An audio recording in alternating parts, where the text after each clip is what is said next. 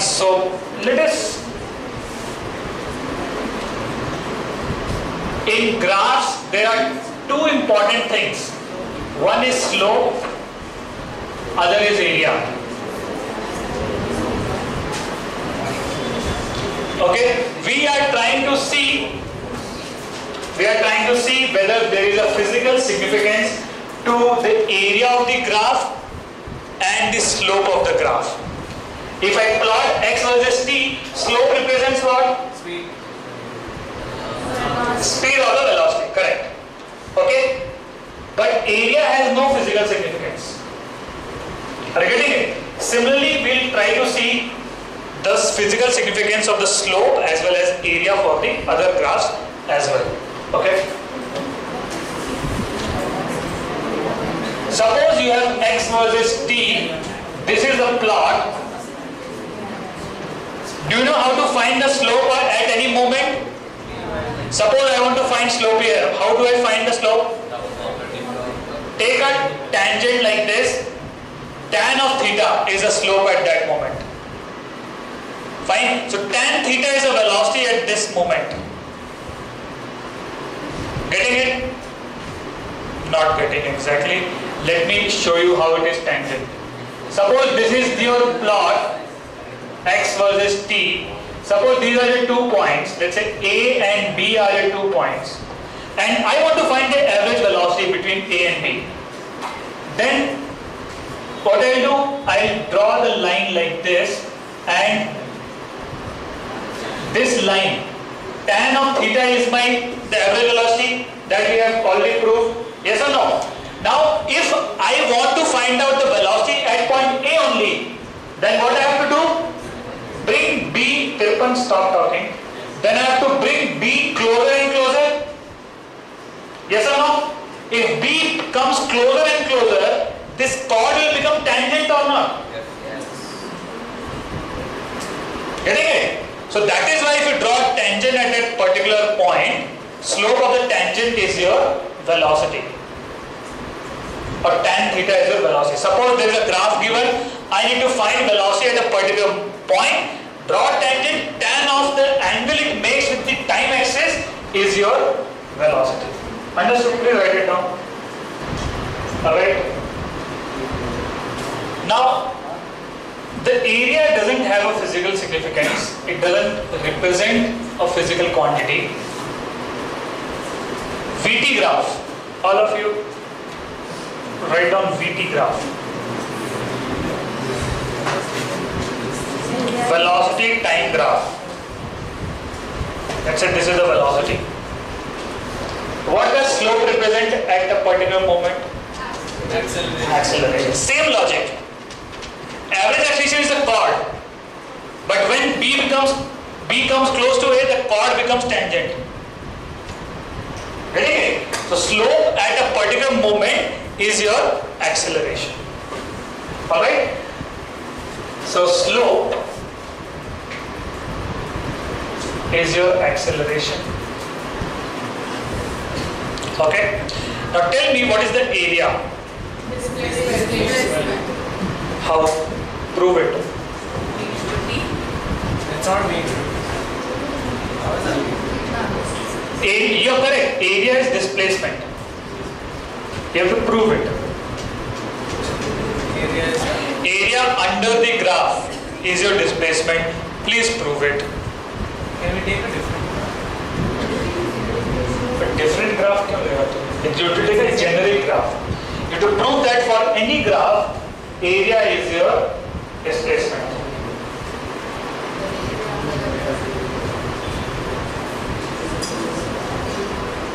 If velocity is constant, then velocity into time is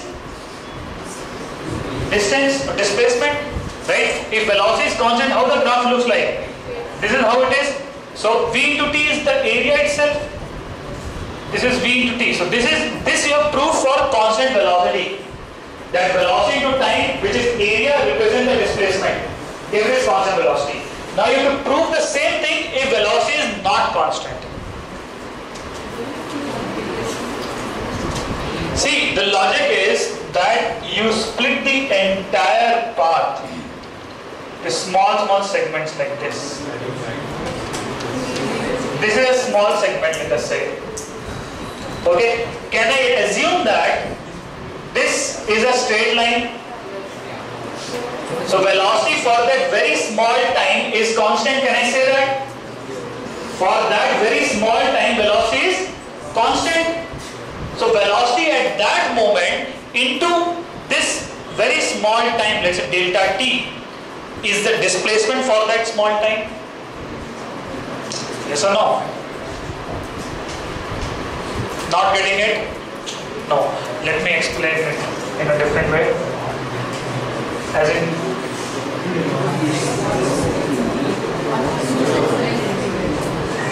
all of you please focus here. Suppose this is the plot. Okay? Focus here, focus. Suppose I take two points very close to each other. This is velocity and this is time. Okay? So the let's say this is point A and this is point B, very close to each other. Alright? So the time taken, let's say, is delta t from A to B, and velocity is v. So displacement when the object goes from A to B is how much? v to delta t. I can assume velocity is constant for this much. Yes or no? So V to delta t is a displacement, a very small displacement only for this portion. Okay? Now if I take it here, there also same logic applies. V to delta t isn't the area, this is the area dA. Right? So like that I can assume so many strips and by the same logic area of each strip is the displacement in that time interval. Okay, so if I add up all the displacements, I'll get a total displacement, right? Which is what? Total area. Okay, so area under VT graph is the displacement, doesn't matter whether it is horizontal line, uh, inclined line or a curve. It does not matter. So a, write down area under VT graph is the displacement.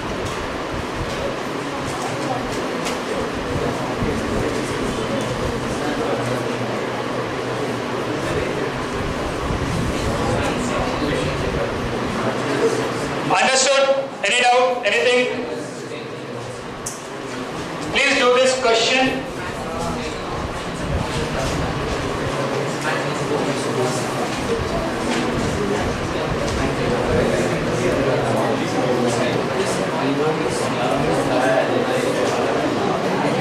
Like this.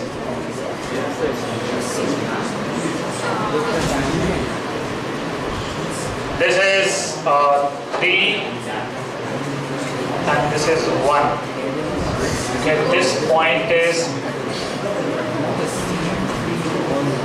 2 seconds, this is 3 seconds. Find out the displacement in the 3 seconds. Is this kind of graph possible? Is this possible? When? Give me an example when this is possible. Give me an actual scenario. So if a car is going like then, then this will happen like that. When a, okay, when a ball is uh, traveling at constant velocity, it's a wall.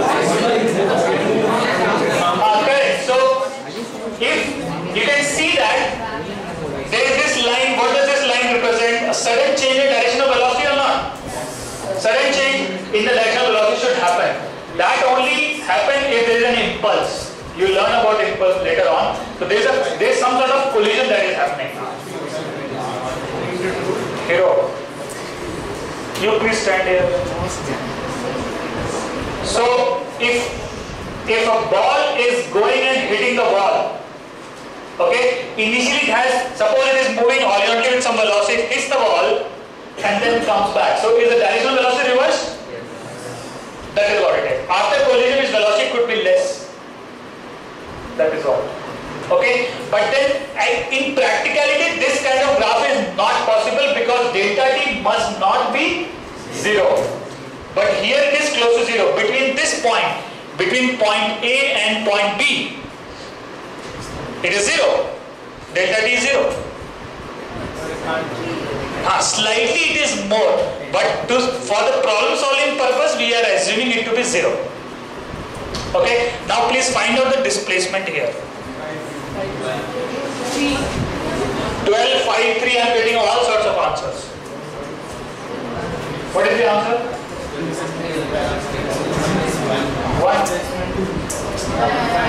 It is, it is 3 meter per second and 1 meter per second.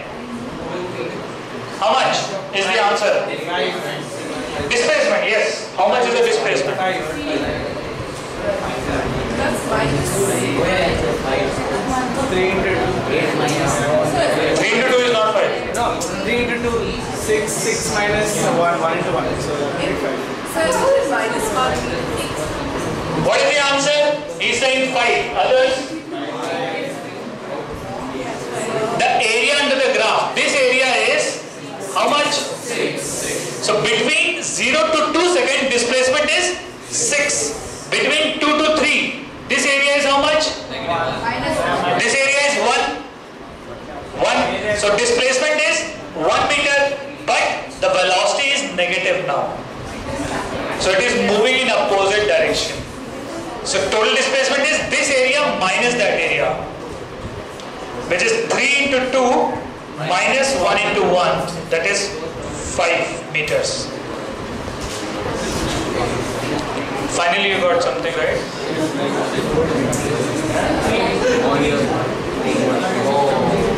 All of you understood this? Any doubt? Okay, let's talk about AT graph.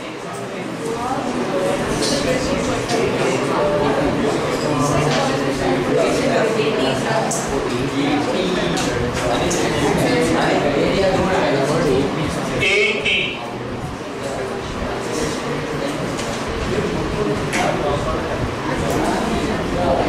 Can acceleration change with time? Can acceleration change with time? It can change, but we have assumed it to be constant for uh, for our purposes. Like we we want to study it in a step-by-step manner. So that is the first we are studying no acceleration, then we are studying constant acceleration. That is why your school curriculum ends. But it doesn't stop there actually. Even acceleration can also vary. Okay. So suppose this is the plot. This is the plot. So the slope of this plot is rate of change of acceleration, which is So why does it touch that? why it is what? Why does it touch that? A2 minus Touch, no, no, touch. No problem.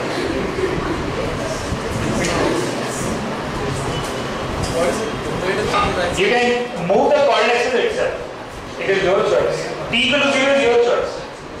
Understood? So you can move the y, you can move the y axis forward. Alright? Now tell me what does slope represent? Rate of change of acceleration. Which is what? Physically what it is. No, Huh? rate of change The rate of change of acceleration is actually jerk.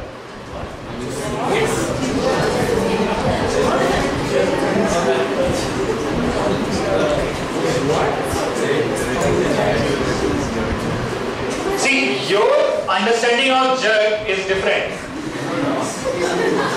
Alright?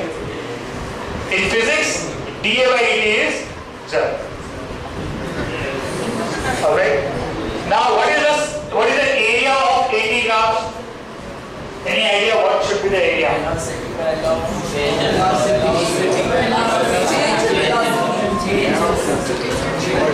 So, if you want to study that, first you study with constant acceleration. What if it is a constant acceleration? Then what it will be? Area will be what? Suppose velocity is constant, like this. Sorry, acceleration is constant. Then it will be like this. So this area is what? This area is A into T. A into T is the area or not? Which is change in velocity. Which is change in velocity. Why it is change in velocity? Because acceleration is change in velocity divided by change in time. This is average acceleration. If average, if acceleration is constant, if acceleration is constant, then whatever time interval you take, A will be same because A is a constant. So A into delta T should be equal to delta V. Okay, so over here the area is change in velocity. Understood? Over here as well, same logic. You can have a thin strip like that. Over here also if you are able to find out the area, this area is final velocity minus initial velocity. Simple. So, but then, uh, they give us an, they give us an initial Depends on what kind of question it is. Okay? Of course, they like graph-based question more than the the algebraic questions. seeing any graphs? We have not seen any graph. What is this? You will soon see many of them. It will come in your dreams also. Okay, so